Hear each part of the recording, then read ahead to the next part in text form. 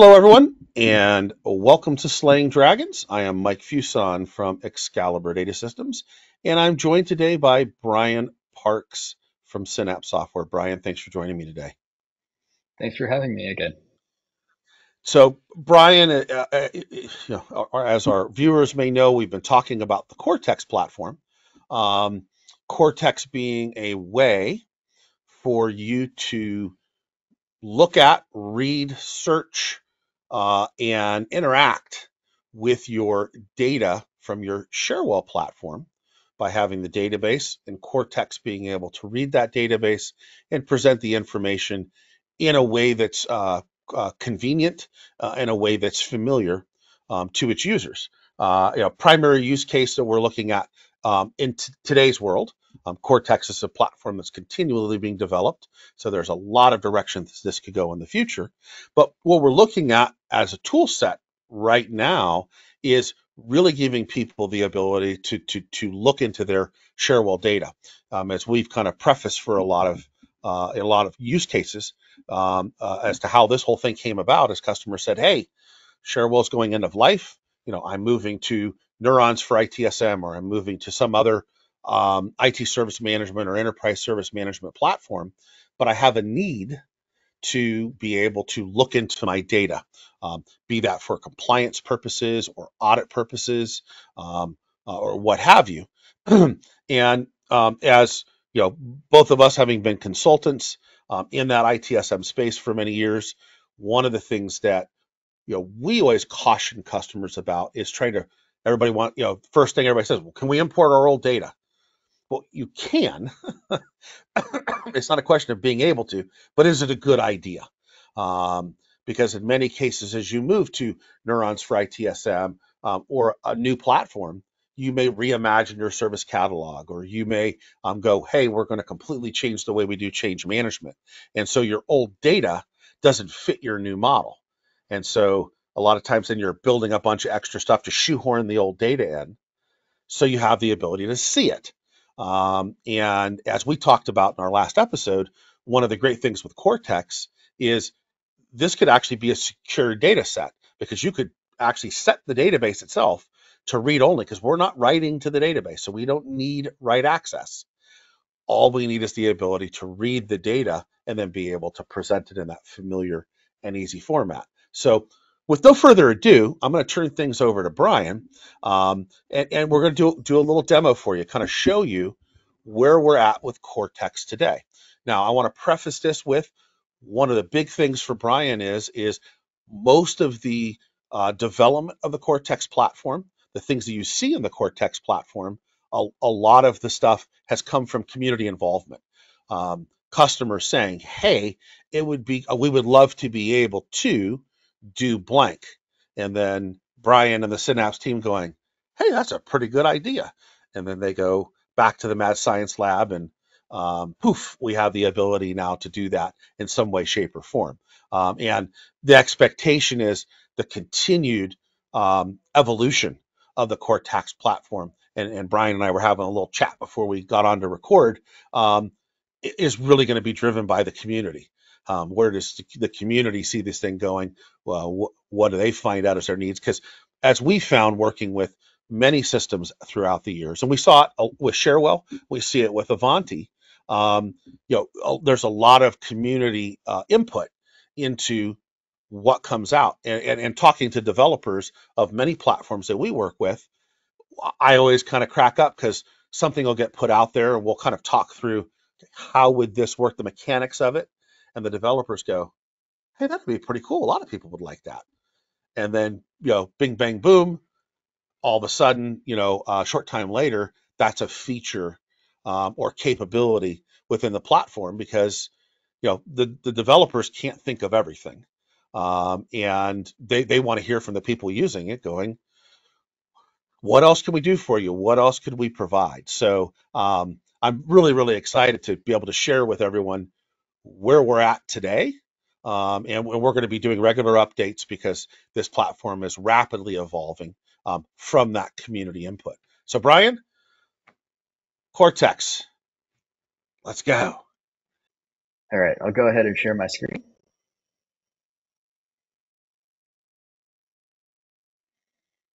So I'm going to search incidents for blue screen. And then I'll add a filter. Search a specific field, which is going to be customer display name.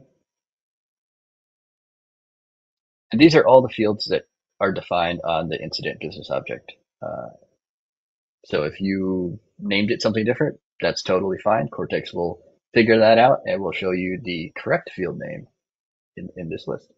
Uh, so I don't want is not empty. I want is equal to specific value and we'll type John's name. We'll search. And then we get one record. Uh, apparently he's only had one blue screen. He must be doing something right. Um, let's drill into that. Uh, but before we do, uh, this grid is pulling the grid definition from the Cherwell database. Um, so it's exactly as, as you have it defined. Uh, this uses the default grid for, in this case, it's incident. Um, if you've changed what fields show up here, changed the widths of the columns, that gets reflected here in Cortex. We'll drill into that record and see what it looks like. And this might look familiar. Um, this is pulling the BizOb form uh, information from the from the database, uh, interpreting it and showing on showing it on the screen um, as near as I can uh, figure out it should be displayed in Cherwell. So I'm basically looking at the XML, determining what it says is supposed to happen, and and doing that. Uh, so this has all the same fields that you would expect to see in Cherwell. Uh, it technically has those two different BizOb forms, the um, the default BizOb form, which is just the kind of summary information, and the overview form.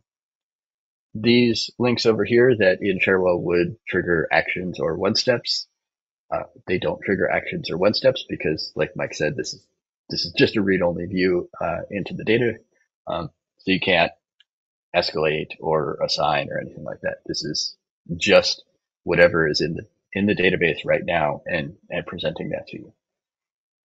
Uh, in this case, this this uh, incident doesn't have any specifics, but for uh, incidents that do have specifics, that would show up here, and all the information is there. Description: He's getting a blue screen of death every time he boots up. You can see it's for John, and all the other information is there. We can even see tasks related CIs and journals. We can drill into those as well. So this particular journal entry is not particularly exciting, but we can still see that on September 21st of 2023, Claire uh, changed the value in the smart classify search string. Cool. Uh, if we go back, we can also see that if there were attachments on this incident, we would be able to see them. Uh, I do have a few incidents in the demo system uh, that do have attachments on them, and this demo system is live on the on the internet. Uh, I'll give Mike the the link to this so he can post it with the video. You can go play around with this. Um, it does require a login, but the the password for all the user accounts is password. Uh, I'm logged in as CSD admin, so you can log in as CSD admin. Get the password password and you can see everything that I'm seeing. Other things that are included are uh, saved searches. Uh, I did implement that partially as a way to uh, leverage more and more of the expressions because everybody's system is different. Every BizOb form has a different set of expressions. There are tons of different things you can do with expressions. Uh, so I started implementing saved searches because saved searches are, are one of the principal ways that expressions are leveraged uh, to make sure that I cover as much functionality as possible so that I don't have to do additional custom development on your specific system. Uh, so whatever expression you're using in your system, it's probably already supported by Cortex. And if it's not, like Mike said, everything I'm doing from this point forward, most everything I'm doing from this point forward is customer driven, community driven. Uh, if something's not supported, give Mike a shout, give me a shout, and uh, if if I'm not careful, I'll have it implemented in a couple days. But that's not a promise. That's just a, I, I can't help myself most of the time. So, Mike, anything else you wanted to say? So, yeah, I mean, let's look at it the other way. So we did a search for a specific incident, but we also have the ability to browse by business object as well, right? We do. Yeah. So if you click browse, you can see major business objects, supporting objects, lookup tables.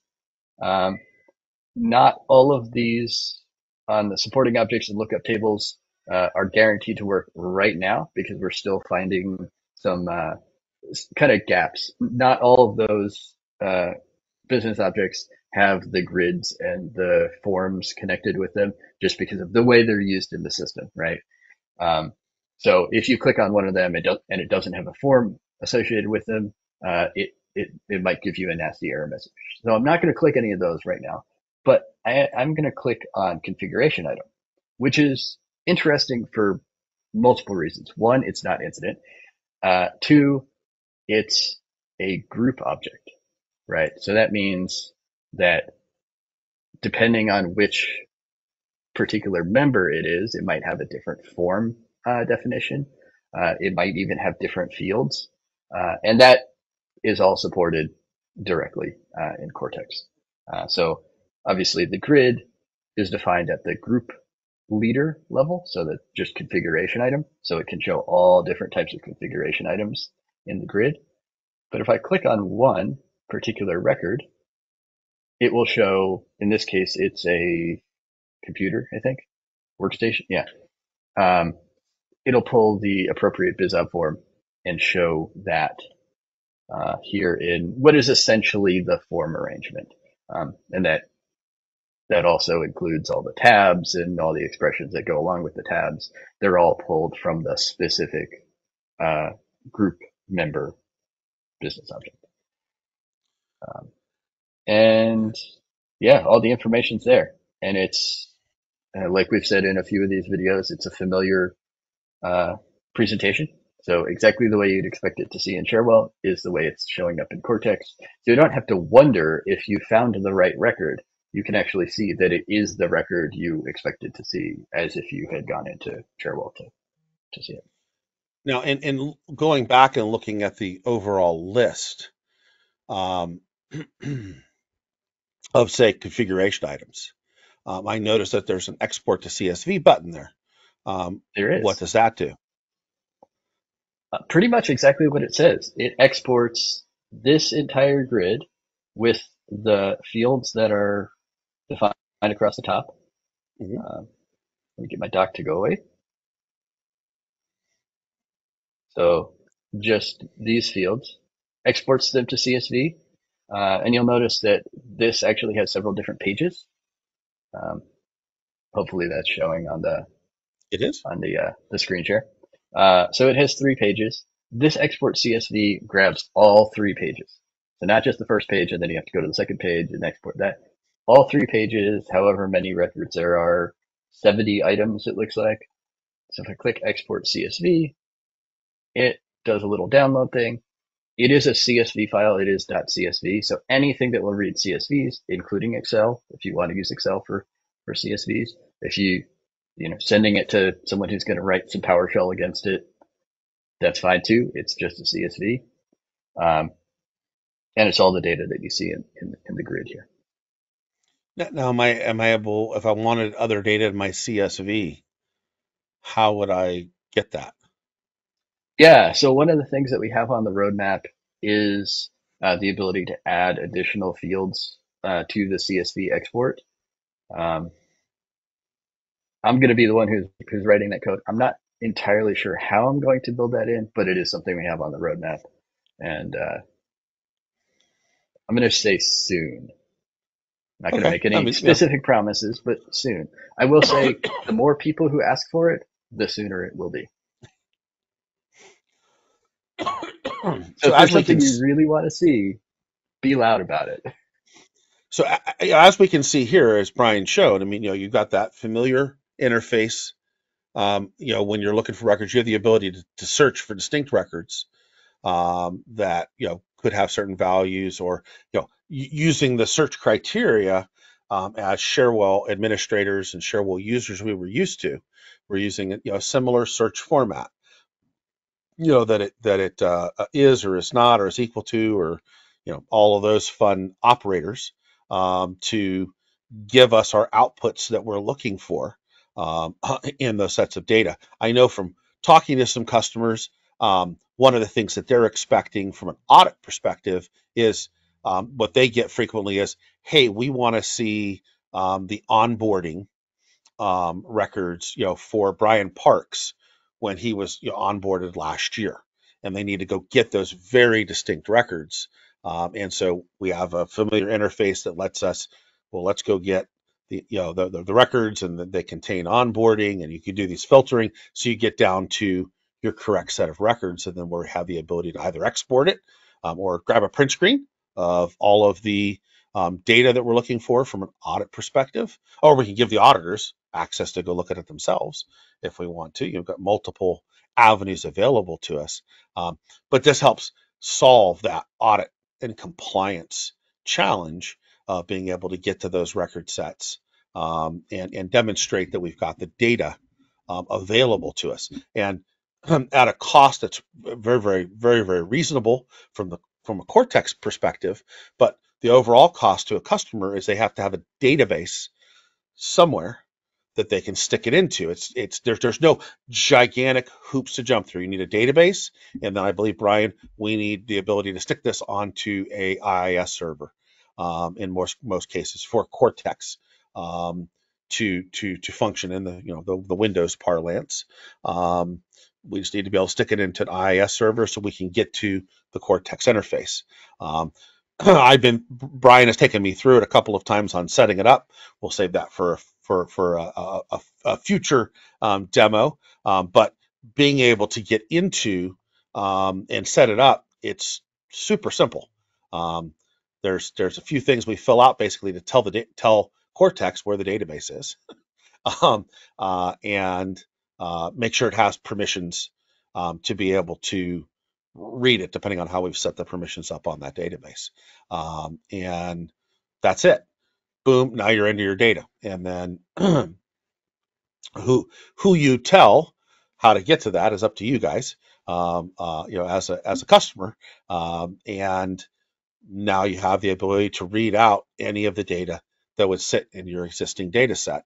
Um, and and I, I, love it from the perspective of as people make their transition to their new IT service management, enterprise service management platform, um, they can be assured, hey, our historical data is intact and available for what our needs are, and they don't have uh, a, a need or requirement or the cost when you get right down to it of migrating that data to whatever that new platform is. And while there are tools and features to do migrations for a number of the platforms on the market, um, the the challenge is not importing the data.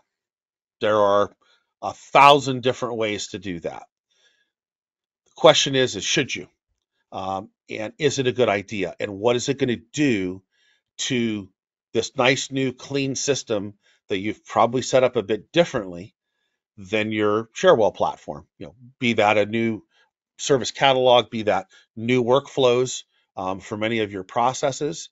Um, you're not having to then account for and build unnecessary fields, unnecessary complexity um, in order to store that old data.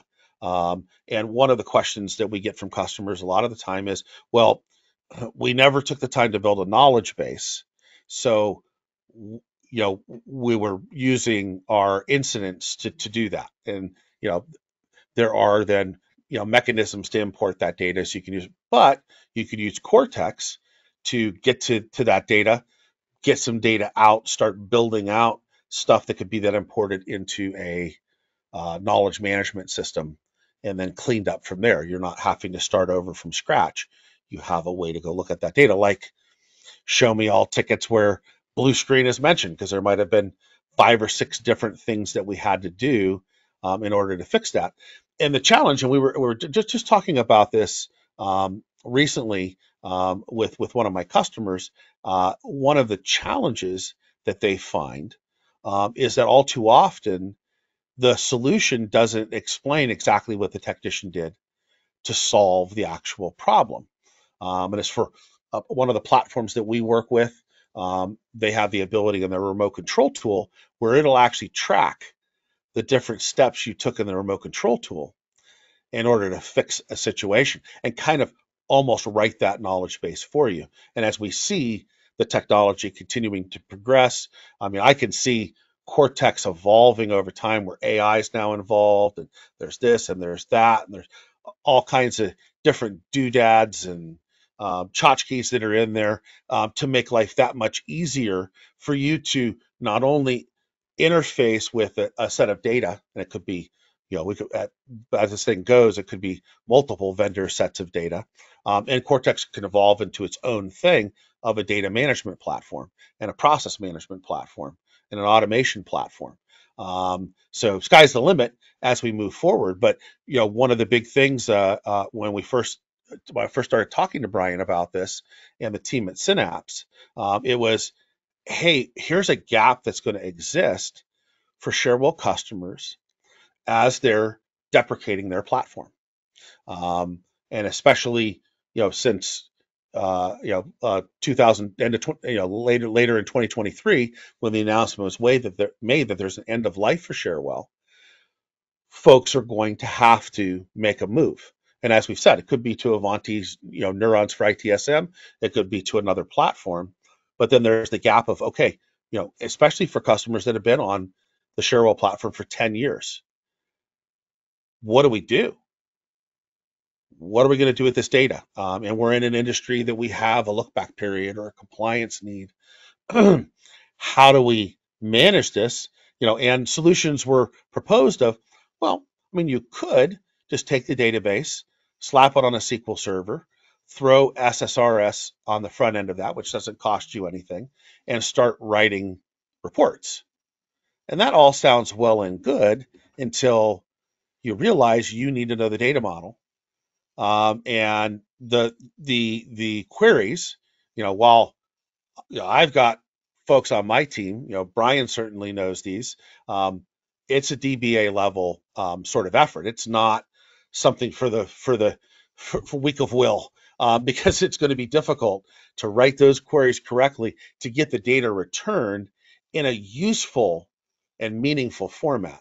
And so, you know, what I love what Brian did is Brian kind of took that feedback and you're thinking about, well, you could, I mean, you could stick Power BI against it for all that you care, Sure. and you could get the data out, but the amount of effort that's going to go into building that structure in order to get it out is going to be difficult. And you can't really see the data. You're going to see the output hmm because it's a, a Cherwell, as are most systems today, very visual in nature.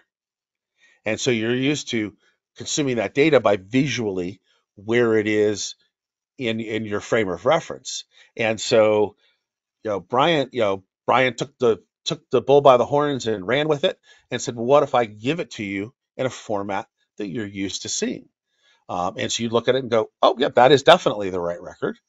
Um, and I know that because, you know, you started, you know, I think about when you pulled up the CI, you know, that's what we're used to seeing.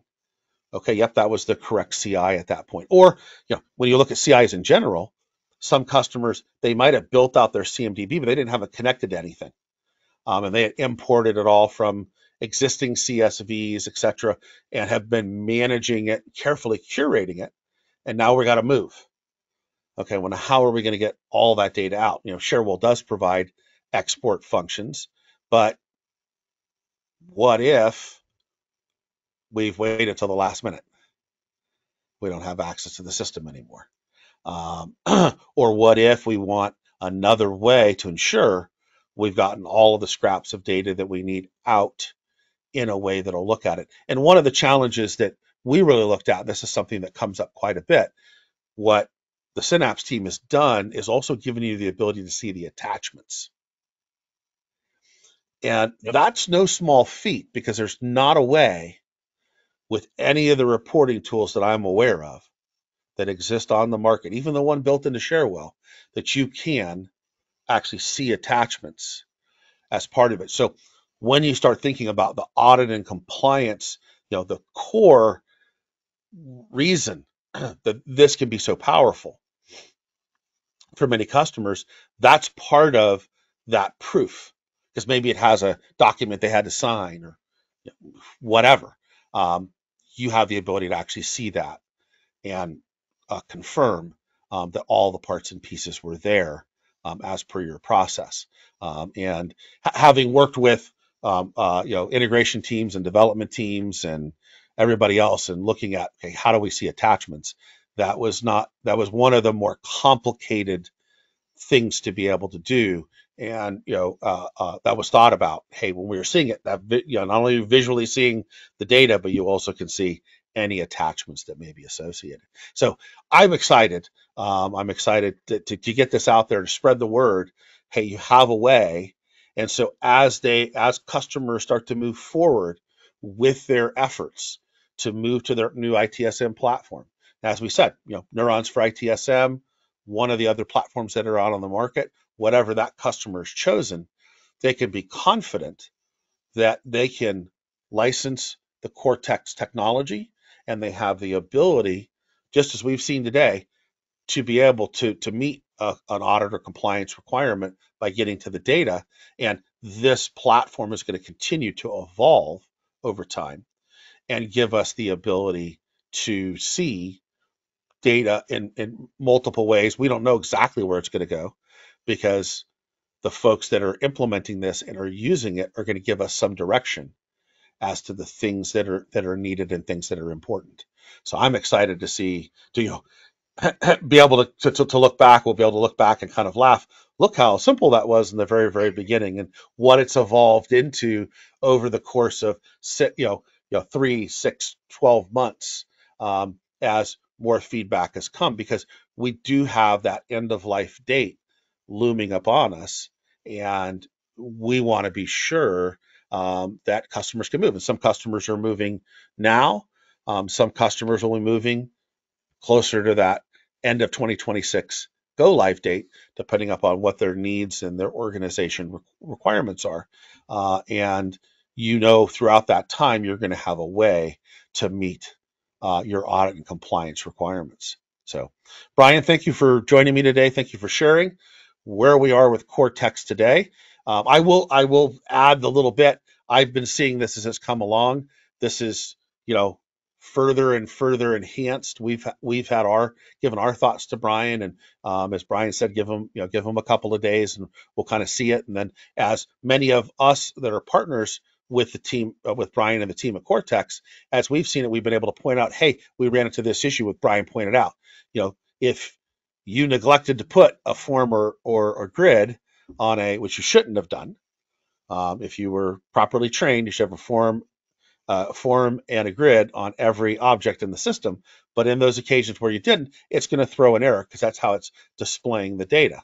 And you'd have had the same thing happen in Cherwell. It would have been blank and you wouldn't have known what was going on. But you could have went in and fixed it at that point.